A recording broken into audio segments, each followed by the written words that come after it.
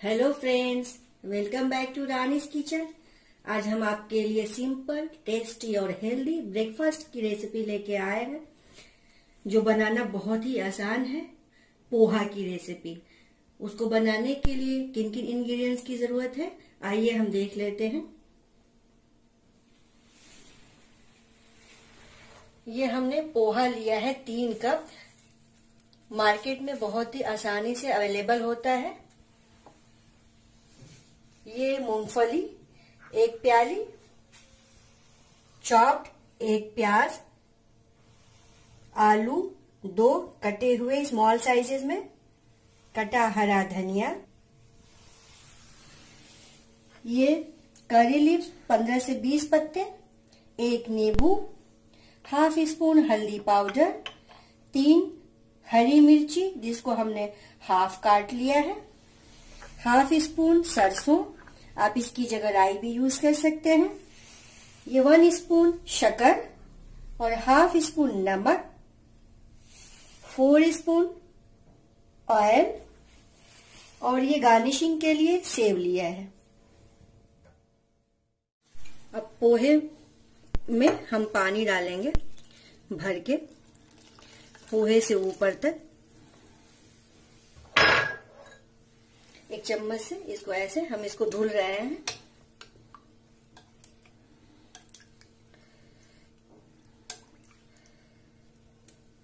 अब ये दूसरा बाउल लेंगे। इसमें हमने स्ट्रेनर लगा लिया है। अब इसको हम छान लेंगे।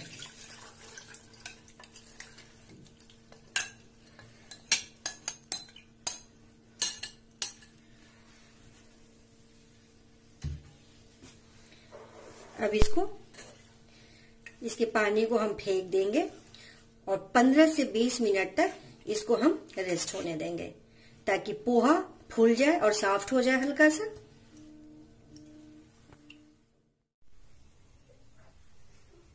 गैस ऑन करके हमने कढ़ाई चढ़ा लिया है। इसमें दो स्पून तेल ऐड किया है। तेल गर्म हो गया, अब मूंगफली हम डाल देंगे। अब इसको हम भूनेंगे। मूंगफली हमारा गोल्डन ब्राउन हो गया है। अब हम चम्मच दूसरा लेंगे।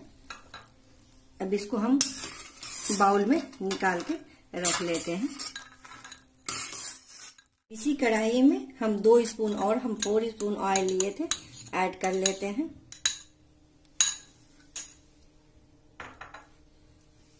इसमें ये सरसों के दाने गए सरसों थोड़ा चटक जाए। अब सरसों चटकने लगा है। अब इसमें हम डालेंगे हरी मिर्ची और ये करी पत्ता गया। अब थर्टी सेकेंड सौते करते हैं। हल्का सा।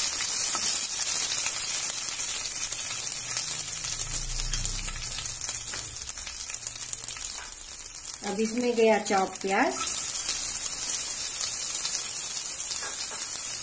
प्याज को भी लाइट गोल्डन होने तक फ्राई करते हैं।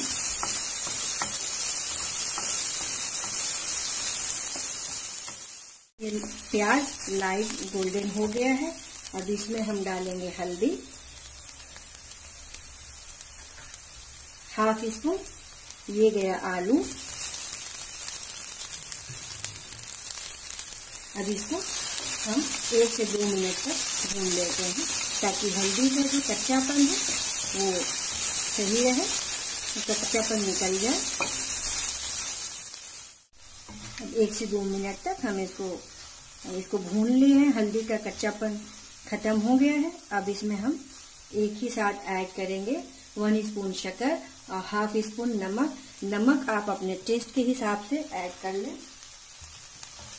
फिर एक मिनट इसको मिक्स करते हैं ताकि शक्कर मेल्ट हो जाए अच्छे से।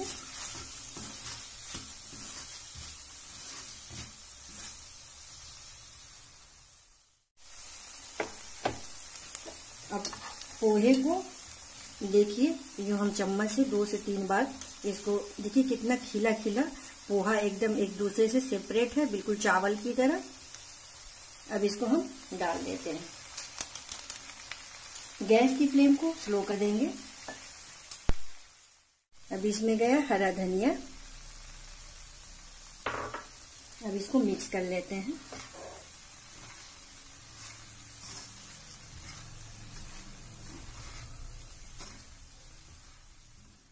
मिक्स कर लिया है। देखिए कितना अच्छा कलर खिला खिला सा आ रहा। अब ये नींबू हमने एक लिया था।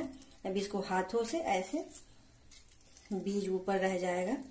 निचोड़ लेंगे और हाफ़ हमने गार्निशिंग के लिए रख दिया है। गार्निशिंग के टाइम भी।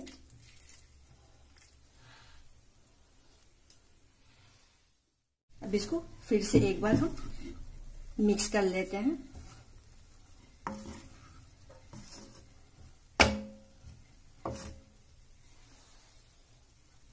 अब ढक्कन लगा के इसको तीन से चार मिनट तक ऐसी लो फ्लेम पे छोड़ देते हैं।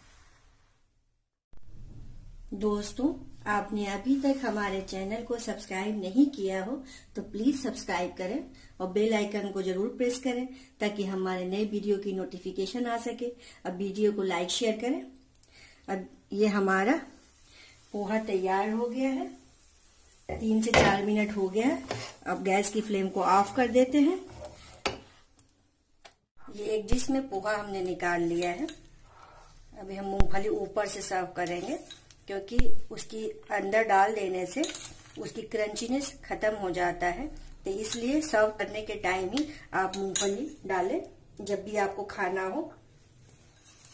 ये गया। इस पे आलू सेव।